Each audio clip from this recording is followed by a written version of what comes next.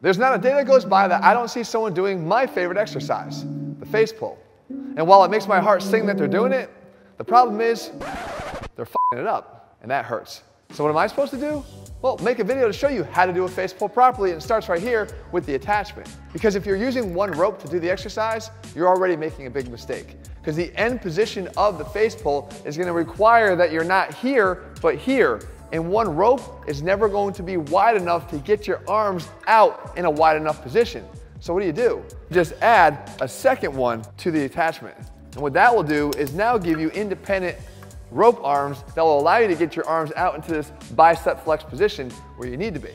Now, if you have an extra long rope, then of course, feel free to use it and maybe save one of those extra ropes you were using for someone who actually wants to do tricep pushdowns. But with your attachment decision all set now, next decision is how high do we set it? There's a simple way to get it right every single time. Here's how you do it. You grab the rope and you pull it out until it's straight and parallel to the floor. And at that height, these handles should be pointing straight here at about the level of my eyes. If they're any higher, you're gonna start to get into a position where you can't even execute the right exercise. Because once they're up here, I'm no longer doing a face pull and I'm changing the mechanics of what I'm actually trying to train in the first place. Now, if you only have access to something incredibly high, like a pull-up bar that you're anchoring a band to, how would you account for this? You just have to change the orientation of your body because these ropes would have to come down here to be angled at your eye. So you just have to go and angle your body back at the same time to make sure that you're getting into the same end position. There's always a way if there's a will, but you gotta make sure you know what you're doing in the first place. But it's here that we actually make or break the exercise because how you grip these two little ropes that are hanging down is gonna determine whether you're biomechanically capable of doing the exercise properly. And what most of us do is they go like this and like this with an overhand grip.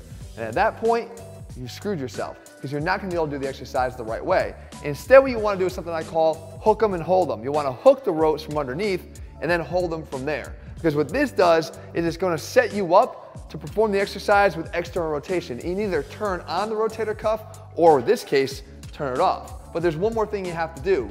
With this hook and hold grip, your thumbs have to be free and pointing back at you. Because as you'll see when we pull, you want those thumbs to guide the direction of your pull. So let's talk about that pull. There's two things that are gonna influence what the pull will look like.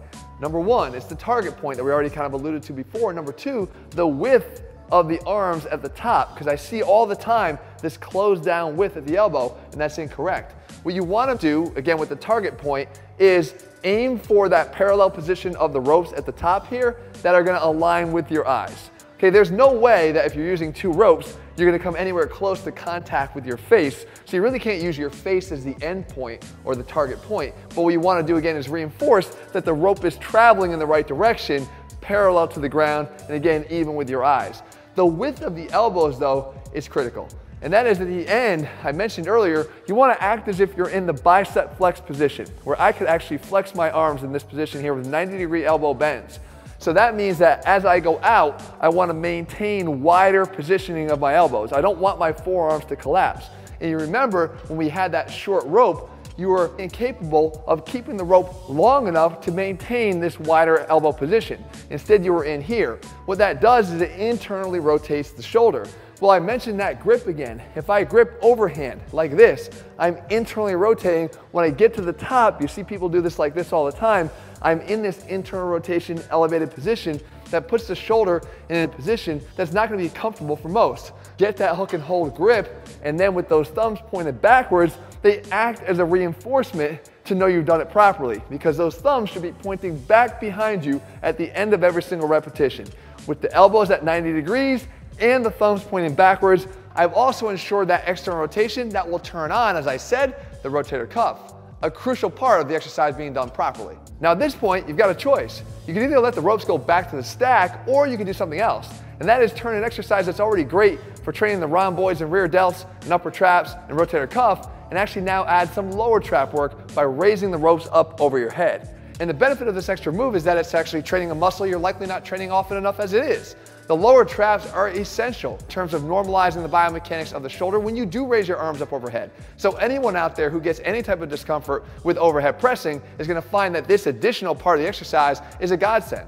And regardless of whether you took the option or not, getting the rope back to the stack is important too, because you can actually undo a lot of the benefits you've already done to this point by getting it wrong.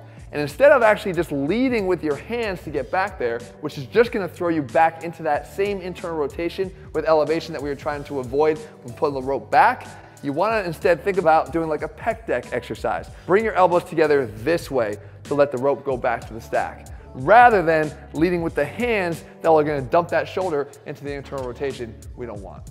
Now, of course, when you do this exercise, you're gonna wanna treat it more like a corrective exercise. One where the purpose is not to just build immense amounts of muscle, but to neuromuscularly train muscles you're not training often enough. And that means quality of the repetitions matters most. And what I mean here is, instead of repping out sets of 15, think of it a different way. It might still be 15 reps, but it's 15 sets of one. I want you to treat each rep deliberately and correctly to make sure that the form I just showed you here is the exact form that you use on every single rep that you perform.